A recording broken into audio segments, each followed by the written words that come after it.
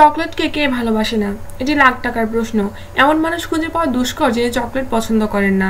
উৎসব উদযাপন, প্রেমিক প্রেমিকাদের মধ্যে উপহার হিসেবে বা পুরস্কার হিসেবে সবচেয়ে বেশি আদান প্রদান করা হয় হরেক রকমের চকলেট। অবশ্য চকলেট স্বাস্থ্যের জন্য ভালো নাকি মন্দ, এটি এখনও পুরোপুরি মীমাংসা হয়নি। বিজ্ঞানী ও গবেষকরা কখনো চকলেটকে ভালো বলেছেন, আবার কখনো এর উপকারিতা বেশি নয় বলেও রায় দিয়েছেন। তবে চকলেটের পক্ষেই রায় বেশি পড়েছে। চকলেট নিয়ে হওয়া সাম্প্রতিক গবেষণাগুলোতে বলা হয়েছে এটি উচ্চ রক্তচাপ স্বাভাবিক করে এবং হৃদযন্ত্রের বিভিন্ন রোগে আক্রান্ত হওয়ার ঝুঁকি কমায়। এছাড়া চকলেটে রক্তে শর্করার হ্রাস বৃদ্ধি নিয়ন্ত্রণ করে এবং স্বাভাবিক রাখে এবং মানসিক চাপ কমায়। চকলেট তৈরির মূল উপাদান কোকোয়া। গবেষণায় এই কোকোয়ার নানা অদ্ভুত গুণের কথা জানা গেছে। প্রাচীন মায়া সভ্যতায় দৌড়ানোর সহায়ক হিসেবে চকলেট পাউডার হিসেবে ব্যবহার করা হতো। এটি খেলে নাকি বেশি দৌড়ানো যেত।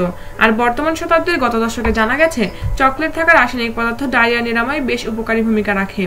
যুক্তরাষ্ট্রের ওহিওর সেন্ট ভিনসেন্ট মার্সি মেডিকেল সেন্টারের কার্ডিওলজি বিভাগের গবেষক ওয়াইস খাজা বলেন, চকলেট খুব ভালো অ্যান্টিঅক্সিডেন্ট। শরীরের প্রদাহজনিত রোগ কমাতে এটি ভালো কাজ দেয়। আমরা মনে করি অ্যান্টিঅক্সিডেন্ট হওয়ার কারণে এর উপকারী দিক বেশি। চকলেট খেলে ক্যান্সার ও স্মৃতিভ্রমের ঝুঁকিও কমে আসে। সব চকলেটের যে সমান গুণ আছে তা কিন্তু নয়, কারণ সব চকলেট একই রেসিপিতে তৈরি হয় না। কোকোয়া বীজে থাকা ফ্লাভোয়েন্ডেস নামক একটি পুষ্টিকণা চকলেটকে অ্যান্টিঅক্সিডেন্টে পরিণত করে এবং প্রদাহজনিত রোগ কমানোর গুণ দেয়। কালো কুচকুচে ডার্ক চকলেট এগুলো গুণ বেশি থাকে। দুধ মেশানো বা সাদা রঙের চকলেটে থাকে অনেক কম। এখন প্রশ্ন হলো, ডার্ক চকলেট কি? যেসব চকলেটে সত্তর শতাংশ কোকোয়া দিয়ে তৈরি সেগুলোকে বলা হয় ডার্ক চকলেট। মূলত তৈরির প্রক্রিয়ার উপর নির্ভর করে কোন চকলেটে কি পরিমাণ কোকোয়া থাকবে। চকলেটে কোকোয়া যত বেশি থাকবে, সেটি স্বাস্থ্যের জন্য বেশি উপকারী হবে। আমরা বাজারে যেসব চকলেট কিনি, সেগুলো কি বিশুদ্ধ? বিশেষজ্ঞরা বলেছেন, না। ওয়াইস খাজা বলেন, বাণিজ্যিকভাবে উৎপাদিত চকলেট থাকে দুধ ও চিনি।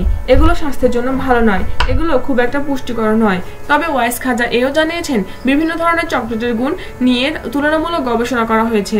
তাই ডার্ক চকলেটের স্বাস্থ্যের উপকারী দিক হলেও কতটুকু উপকারী তা নির্দিষ্ট করে বলা যায় না। বিশেষজ্ঞদের পরামর্শ, দিনে দুবারের বেশি ডার্ক চকলেট না খাওয়াই ভালো। আসুন জেনে নেই, প্রাচীনকাল থেকে সময়ের সঙ্গে সঙ্গে চকলেট সম্পর্কে জানা নানা তথ্যের কথা। পাঁচশো খ্রিস্টপূর্বাব্দ। এই সময় চকলেটকে মনে করা হতো ঈশ্বরের খাবার হিসেবে।